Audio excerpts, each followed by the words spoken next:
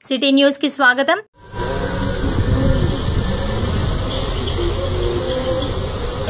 జై శ్రీరామ్ జై శ్రీరామ్ భారత్ మాతా key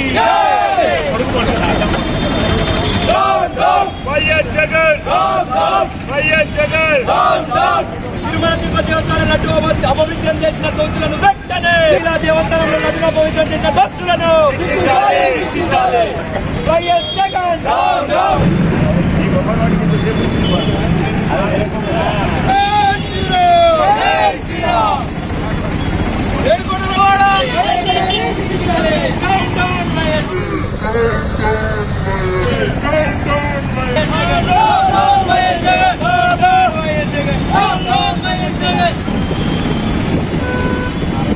Jagan YS Jagan తిరుమలను అపవిత్రం చేసిన వైఎస్ చేసిన వైఎస్ జగన్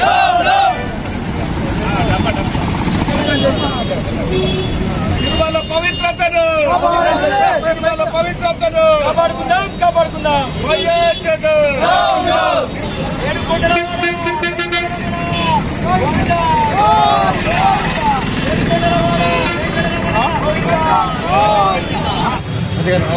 అత్యంత పవిత్రమైన తిరుమల తిరుపతి దేవస్థానం లడ్డు ఈరోజు కల్తీ జరిగినందుకు కల్తీ జరిగినందుకు గాను నిరసనగా పోచం మైదాన్ సర్కిల్లో వైఎస్ జగన్ అనే ఒక నీచుడి కుక్కది దిష్టి బొమ్మ దహనం చేసే కార్యక్రమం జరిగింది.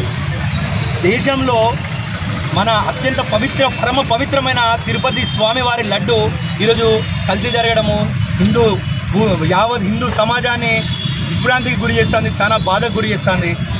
ఎందుకంటే హిందూ మనోభావాలు దెబ్బతీసేలా ఈ ఈ యొక్క లడ్డు కల్తీ చేయడం జరిగింది. వెయ్యి రూపాయలకు కానీ రాని నెయ్యిని కేవలం నువ్వు మూడు వందల ఇరవై రూపాయలకు మాత్రమే ఎట్లా కొనుక్కొని ఎట్లా టెండర్ వాడి ఎట్లా బిడ్డింగ్ చేసి నువ్వు ఆ లడ్డూని తిరుపతి దేవస్థానంలో ఇచ్చినవో నేషనల్ డైరీ డెవలప్మెంట్ బోర్డు నుంచి కూడా ఖచ్చితంగా రిపోర్ట్ వచ్చింది. మరి యాభై సంవత్సరాల నుంచి కర్ణాటకకి వెళ్ళి నందిని డైరీ ఇవన్నీ వచ్చిన వారికి కూడా గిట్టుబాటు కానీ ఈ సందర్భంగా మరి మీరు ఈ రోజున ఎలా మూడు వందల ఇరవై రూపాయలకు నెయ్యిని అమ్మారో అది చెప్పాల్సిన పరిస్థితి యావత్ హిందూ సమాజం మీద ఉన్నది. మళ్ళా నువ్వు ప్రెస్ మీట్ పెట్టి అంటావు నేను చేయలేదు నేను తప్పు చేయలేదు నేను సొక్క పూసని నేను సంసారని మాట్లాడుతున్నావు. ఇది ఎంతవరకు నీకు న్యాయము? బిడ్డ జగన్ ఈ సందర్భంగా చెప్తానా?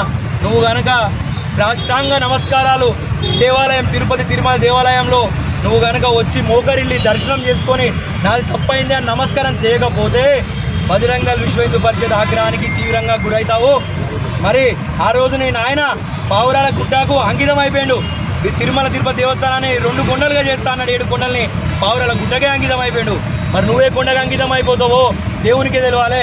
కాబట్టి జాగ్రత్తగా ఉండి మన హిందూ సమాజం పట్ల ఇప్పటికైనా బుద్ధి తెచ్చుకొని జాగ్రత్తగా ఉండాలి. కేవలం నువ్వు ప్రసాదం ఇస్తే కూడా హిందూ ప్రసాదాన్ని పారేసిన సందర్భం ఉంది. మరి నిన్నెట్లా నమ్ముతామో నువ్వు? నువ్వు తప్పు చేయలేదంటే? నువ్వు ఈవోనే కావచ్చు చైర్మనే కావచ్చు అన్య మతస్థులను నియమించినప్పుడే అప్పుడే ప్రతి ఒక్కరికి అర్థమైపోయింది. ఎంతోమంది పవన్ కళ్యాణ్ గారు లాంటి వాళ్ళు మాట్లాడారు దీని మీద.